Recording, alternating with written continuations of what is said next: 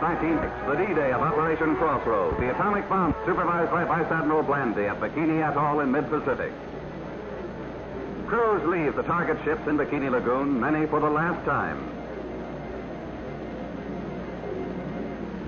The B-29 Dave's Dream takes off from Kwajalein to deliver the bomb, equal to 50,000 tons of TNT, while an electric metronome counts the final seconds.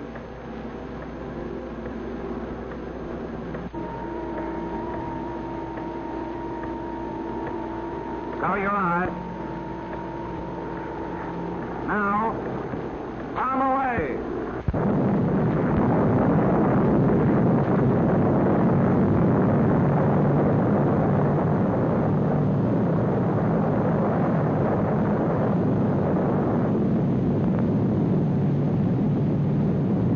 A deadly radioactive cloud rises over seven miles. Cloud ships are tangled wrecks. Battleship Nevada is towed into position for the second test, Test Baker.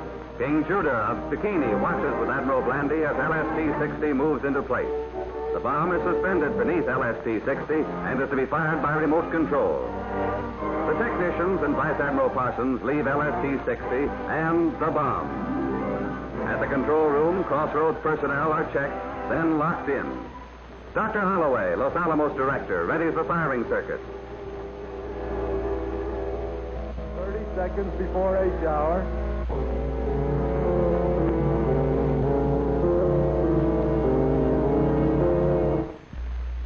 Fifteen, Cameras are ready aboard ship and in the sky. two, one, fire.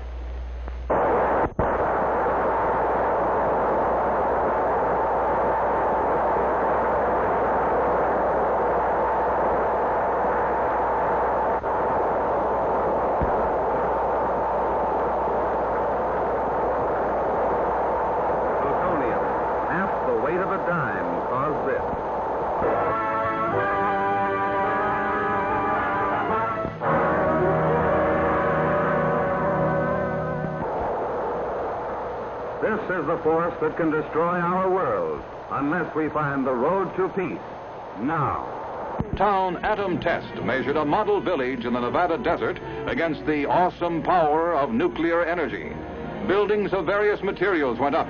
A million dollars worth of equipment was installed, including lifelike mannequins, and tons of food to measure the contamination caused by radiation. The big dolls were Survival Town's sole inhabitants. Tanks took part in their first atomic maneuvers, some less than a mile away, the closest yet in any test. Nearly 6,000 persons participated, including troops sheltered by trenches. Many cameras in many locations filmed the single blast.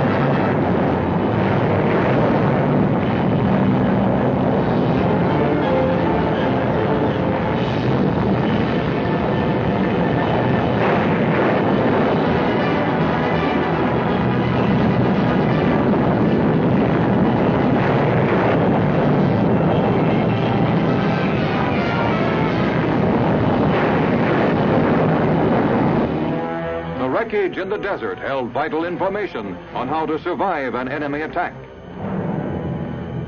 With Geiger counters to check the radiation, experts assessed the damage. An aluminum building was left a gaping wreck. Concrete or cinder blockhouses weathered the blast best. This one was less than a mile away. Survival Town's electric wires had become a twisted, tangled mass. Demonstrating the importance of civil defense preparedness, the elaborate exercises proved survival is possible, offering new hope to all who live in the shadow of the atomic age.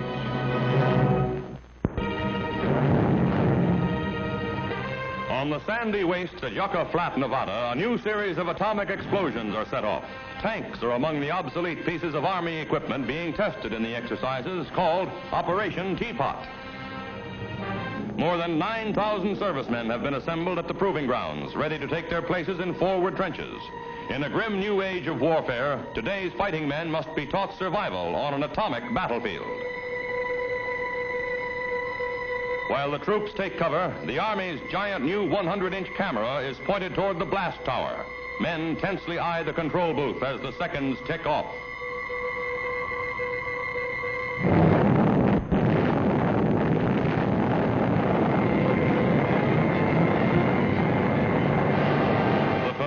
Mushroom cloud snakes skyward, hurling the atom's deadly radiation high into the heavens.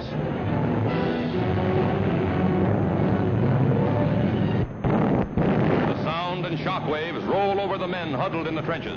Never before have we had such a close-up view.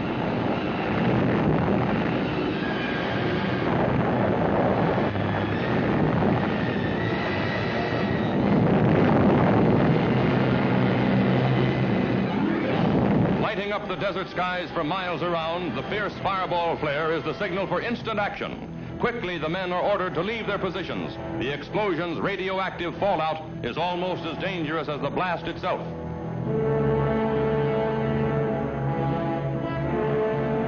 In the vitally important precaution of dusting each other off, the lowly broom becomes an item of military significance. Next, Geiger counters are used to check the troops for signs of radioactivity. Marching out of the shadow of the awesome fighting men, symbolizing America's determination to keep strong in a restless world.